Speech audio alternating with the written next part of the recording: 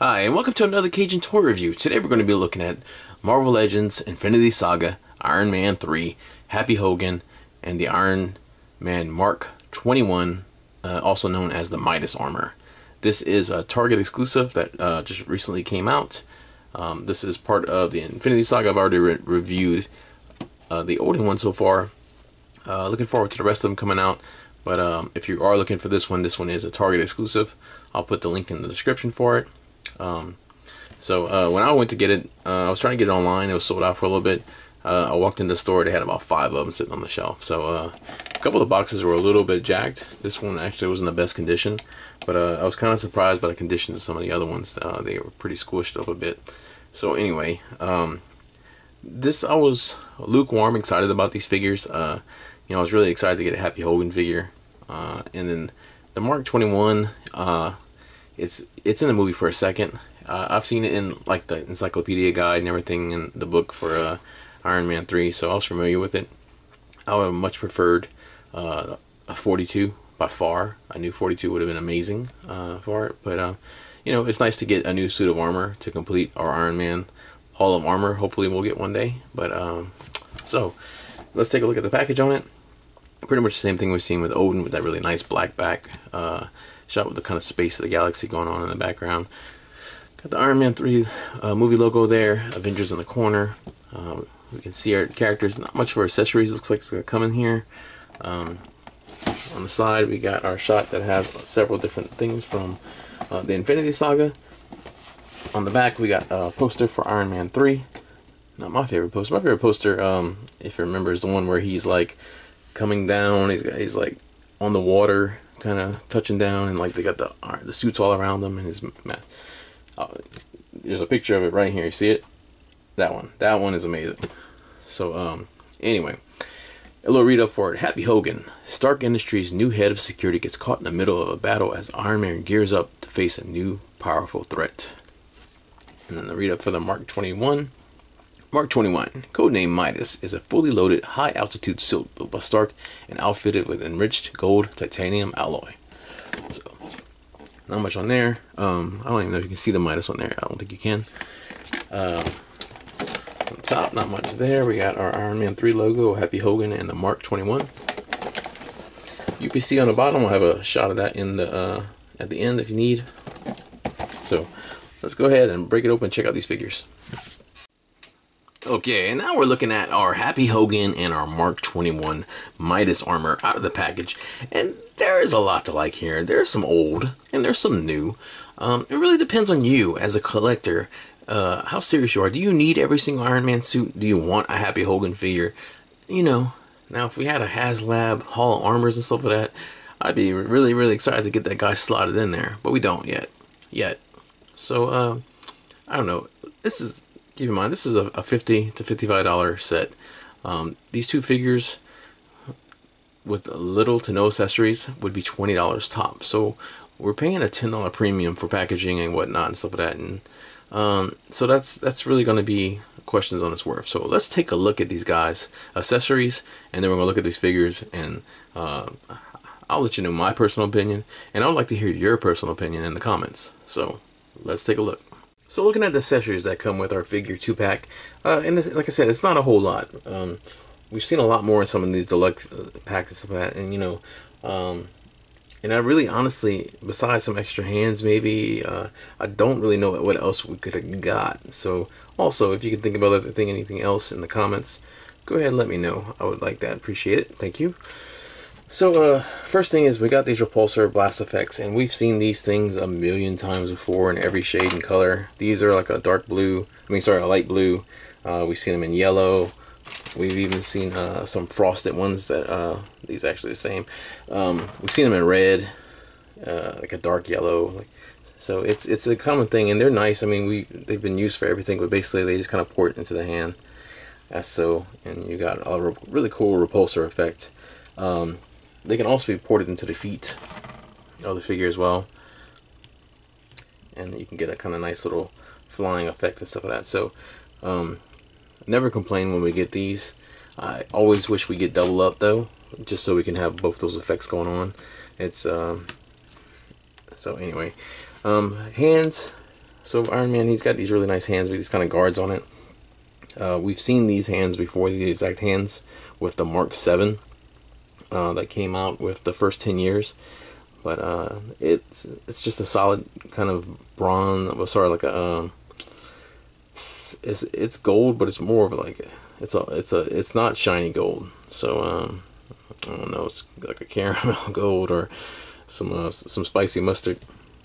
Uh, and that's kind of one of my things about this. When you look at screenshots for this figure, uh, a lot of the pictures, but it's super shiny gold, and we get like a nice caramel color going on.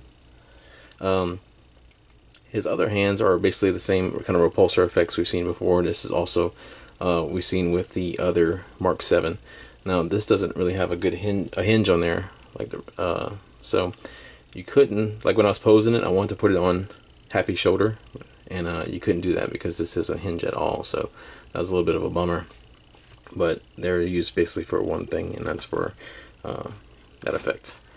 Now, Happy comes with one little accessory, and it's a little tiny cell phone, and uh, it's not even straight. If you look at it, it's uh, it's got like a bend in it, and I don't know if it's from I had Happy holding it already that it bended like that, but um, I have it upside down. But yeah, it's a little tiny phone. You can see like the little button on it and everything. Uh, it's got the red and green button for uh, answer or decline and um, it's got a little tiny bit of writing on there but you cannot read that. I tried looking at it. It's so small um, you're not gonna read that. But you can kind of see the little button right there. Uh, there's no camera but anything on the back. There's actually a 4 printed in on there so um, but this thing is tiny tiny. I mean just to show you and compare it to the hand. Yeah this thing is super small and super thin. If you sneeze or not or walk away for a second, this thing isn't secure. Good luck. This thing can is gone with the wind.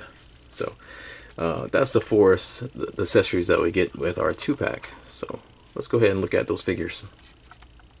So here's looking at our Happy Hogan figure, and uh, first thing is I want to talk about the face, the face sculpt on this guy. And um, I'm a big Jon Favreau fan ever since Swingers, his uh, pretty much his debut movie and it's a good likeness of him. Uh, I I wish he would have maybe got a different face, like like sorry, an alternate head with a different expression, because he's just got. And I know he's kind of a, played portrayed as a kind of a grumpy character, and that's uh and that's what he's supposed to be and stuff like that. And they they nailed that look, but I would like to see maybe an angry or I don't know, maybe even a smiling one, something like that. But um, I know his role was considered more serious kind of guy and stuff like that. But anyway, uh, it it's not the best likeness that they've done, but it's really good. Um, just really depending on the angle you're looking at them and stuff like that. Um, like straight on, a lot more so. But um, anyway, if you if you're not familiar with Jon Favreau, uh, before talking about Happy Hogan, like he basically directed the first two Iron Man movies. He's kind of responsible for kind of a big part for getting kind of the MCU kind of rolling. Um, and uh, he made a solid Iron Man movie he uh he kind of stepped out because of all the stuff they were doing where they like kind of expanded and adding all the characters and stuff like he just kind of wanted to do his solo thing. But he's made so many other films um, that are fantastic.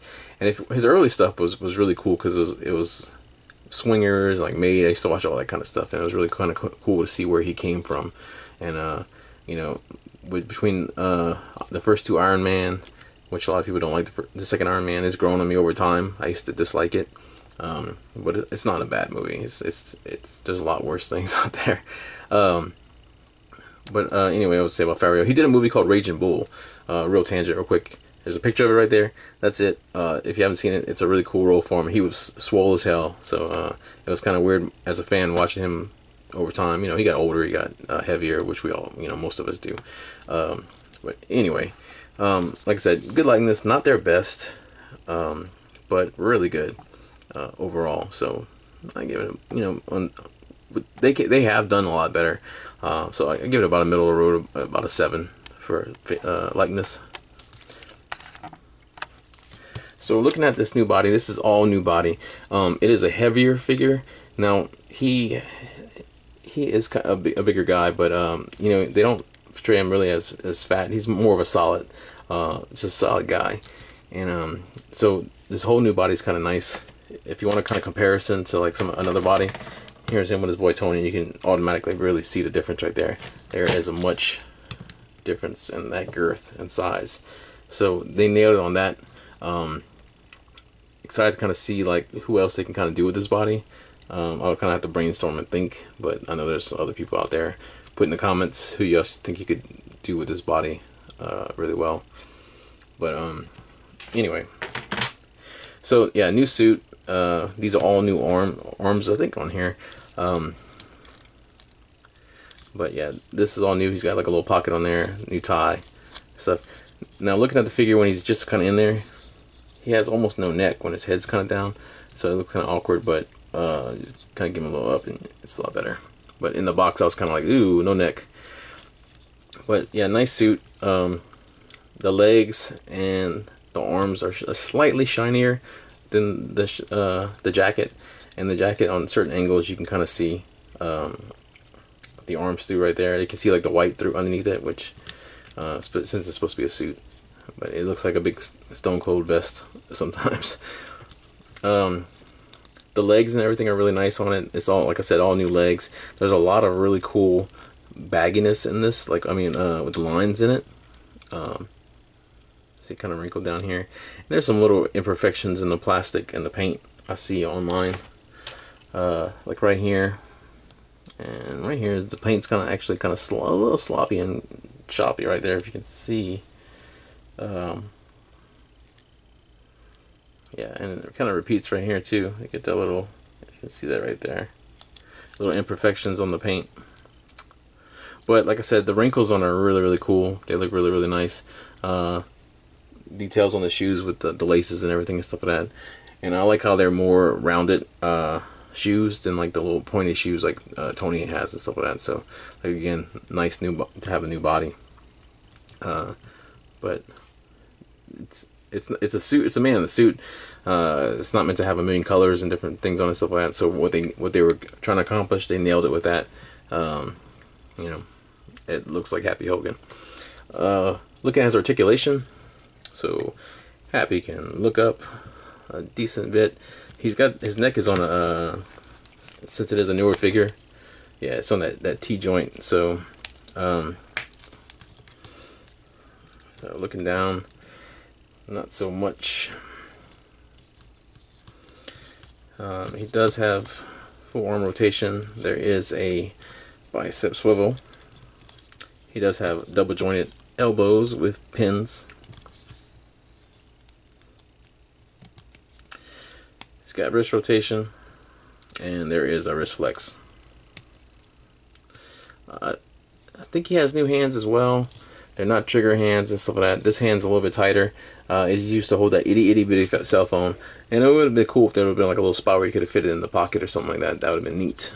Uh, it's really thin. It wouldn't be hard. But anyway, um, ab crunch. You can a little bit. The jacket's going to limit that, of course. And oops about that much, yeah. So didn't look for lost change. Um, does have a waist swivel.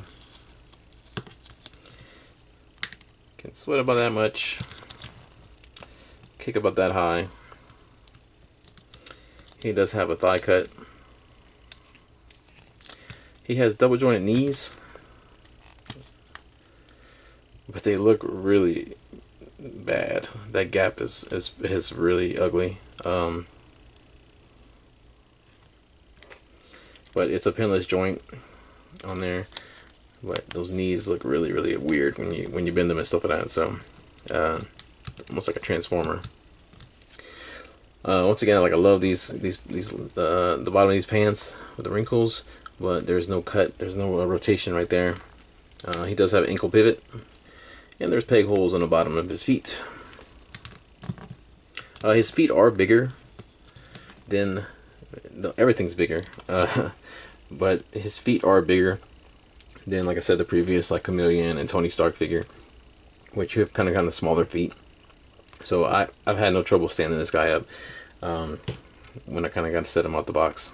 So anyway, that is Happy Hogan. What is your thoughts on this guy? You know, um, is this worth half the purchase right here? Um, I'm, I'm kind of on the fence. You know, uh, I'm happy he's in my collection. He's really really cool in the Iron Man uh, display I have kind of set up when I do pictures and stuff like that. So anyway, let's move it on. Hey, so looking at our Mark 21 Iron Man, um, Midas. So this is a solid suit. Like um, this is like really one of the one of the better Iron Man figures that we had from Marvel Legends. There's just a lot of detail in this guy, uh, with like the shoulders that come up, all the stuff on the back. Uh, just all, all this detail. Uh, I love the kind of like the gears looking in the, uh, the back of the knees, uh, in the front, and of course in the elbows and stuff, and just a lot of detail in the shoulders and everything. Like I said, one of the more solid Iron Man figures, but uh, we've already gotten this one, like I said before. So um, this really depends, you know, on you wanting that happy figure and wanting to complete your Iron Man's. Uh, how much value you're going to get out of this. Now it does look like it's one solid color of gold, and it should be much brighter. Uh, looking at the other versions again, but it is two tone. There is different shades of gold in there, and some are much more vibrant and bright. It just depends on the material. So, uh, like the face is a lighter, brighter gold. Uh, we get it kind of on the arms coming down here, uh, on the legs especially, and the guards, but mainly on this chest around the arc reactor.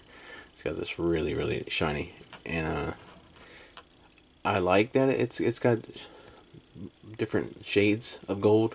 Uh, I just wish those shades of gold were brighter. Um, so overall, I mean, there's not a, a, whole lot of paint to talk about in there. It's just you know, just different two tones in there. So it, it kind of goes from this darker to lighter, um, lighter, darker, stuff like that. So I'm not gonna go through the whole body and talk do that, but the grays do help a lot uh, with the gunmetals in there and the knees. Course, on the back. Uh, I wish they had a little bit something underneath underneath here. Uh, that would be cool, but we don't. Or like the spine would look really cool like that. Uh, you know, just when looking at like all the different colors that they had on the uh, the previous one, it just makes you wish this this, this figure can look so awesome. So, uh, looking at this articulation on the Mark 21, he can't look up much at all.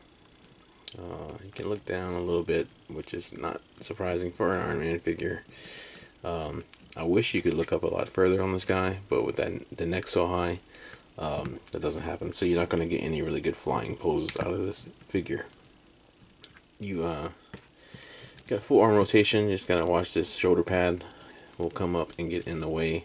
Uh, it shouldn't pop off. It is glued on there, but just be careful because you will put wear on that little uh, part that's attached already.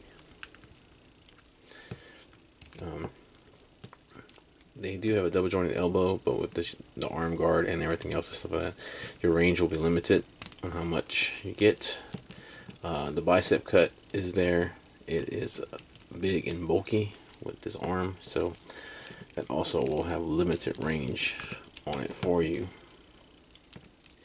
now there is flex on the uh, the wrist on the fisted hand but like I showed on the repulsor hand unfortunately there's not excuse me so that is a bummer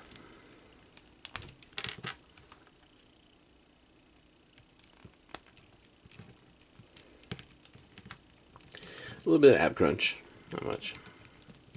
Uh, we do have a little bit of rock we can do. Waist rotation uh, is non-existent. Uh, he can kick out about that far. I'm not doing no splits with him with these little circle gears, gyro, whatever, servos. They're going to block that a lot. And uh, that's just going to rub. So um, there is a thigh cut, and it's not too bad. It's just uh, going out for a turn pose. But when you if you try to turn it in, why would you want to? You're not going to really get any range on that. Uh, double jointed knees, and they don't look too bad with the gray. Um, and knee pad is nothing like with it doesn't look nothing like Happy's did. Uh, but this, like I said, it's a little bit older figure too. Um, we do not have calf rotations on this figure as well. Uh, we do have a bit of an ankle pivot that is also going to be hindered a bit by the um, the leg stabilizers or the cat.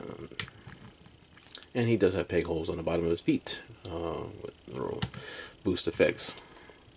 So overall, um, like I said, it is a solid figure. It really depends, uh, you know. Um, it's hard for me, in my personal humble opinion, to say that this is truly worth it. And I'm a hardcore collector, uh, just because it's it's I paid 55 for this. Um, I feel like this set should have been 44 max. Uh, the lack of accessories, um, one new figure, and then a repaint. Now, I'll say it I'm blue in the face. Give us the Mark 42, the golden red one, Iron Man 3. I would have jumped on that thing so fast, but they didn't. So anyway, um, what are you guys' thoughts on this? Uh, these two figures and stuff like that. Uh, will you be picking it up? Yay, nay? Um, he's doing the uh, Travolta. Um, I'm I'm not over, I'm not upset that I got it or anything like that. Uh, you know, I, I wanted these figures and I'm glad I did, and I really was excited to talk about them. Um, I just think that at this point. It's, it's Infinity Saga. Every figure that we pretty much got in the last Infin- uh, Infinity set did the t- 10 years was something new and something really unique. Um, you know, and this one so far, uh, Odin's Odin's killed it. Uh, these two have been meh. So I'm really excited to get uh, Captain Marvel and uh, and Rescuer next. So I'm hoping they're gonna blow it away. So anyway, uh, if you guys watched it this far, thank you so much. I appreciate that uh, leave comments stuff like that. Leave a like if you like the video. Uh, check out the other comments. And always always thank you so much for watching. Um, I'll check you guys in the next video. Take care of yourself